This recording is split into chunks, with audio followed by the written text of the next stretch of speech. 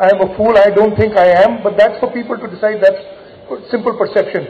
But I won't uh, start contempt proceedings for this.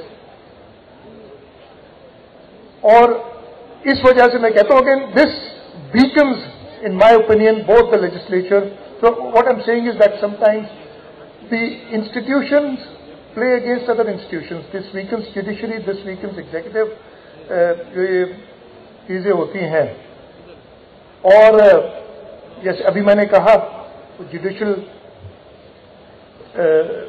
कि weaken करने की इदारे तो again at some times the judiciary is use to weaken the executive to weaken the legislature again sir you are here so I you know take the liberty of quoting from one of your judgments justice Mansoor Ali Shah साहब की it's judgement इसी साल की है।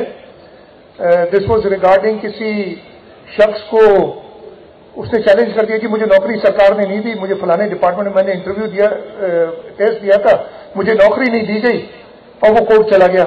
ऐसे हमारे यहाँ रोज दरखास्तें आती हैं, वैसे इस टाइप की कि नौकरी दे दो, हम दे देते हैं अदरवाइज़ कंटेम्प्ट हो जाती है हमारे ऊपर। लेकिन सर वो जो मेरेकल की बात कर रहे थे, और मैं आगे भी जाके बात करूँगा, मैं ये पढ़ देता हूँ। इस N I quote from this judgement in sir इसका when judiciary encroaches upon the domain of the executive, as in this case, where the learned judge disregarded the eligibility criteria and the recruit